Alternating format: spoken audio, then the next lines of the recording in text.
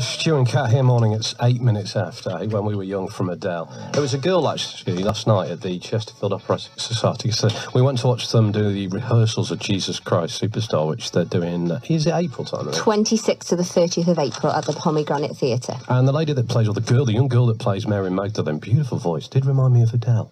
Yeah, absolutely, absolutely, she did. I, Yeah. I tried to make two words there. Absolutely. A I quite word. like that. That's quite good, isn't it? I'm going to start using that from now on. It was an absolutely moment uh, because yeah, she was amazing. In fact, both of them were. So Mary and Jesus, obviously, in the flesh last night, weren't, weren't they? Yeah, we were hanging out with Jesus last night. It was Yeah. great, wasn't it?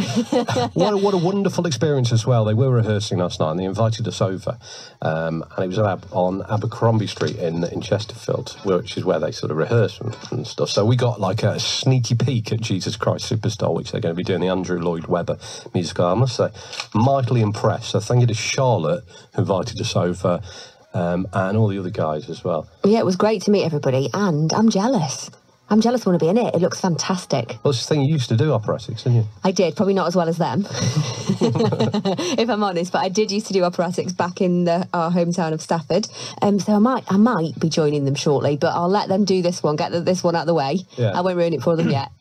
Well, um, if it's anything like the rehearsals, it's going to be pretty epic. But there was a moment of awkwardness last night, I have to say, because you were interviewing some of the stars, the performance, weren't you? I was. And what they did, they took us out the main hall into a room at the side, which is Mm-hmm. near to the entrance, uh, to do some interviews because it was like quieter and stuff. And you'd gone through the uh, the main doors towards this room, And I can't leave you door. alone for a second. No, you can't. And, and I was being followed by the musical director, and I opened the door, and for some reason, um, I was I was pretty much rushing towards this this room, which is where we were doing the interviews, and I swung my arm back, which was by my side, and grabbed the musical director's crown jewels.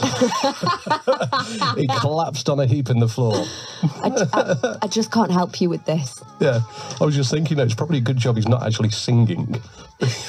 You'd have, he'd have reached his high notes at that point. But no problem.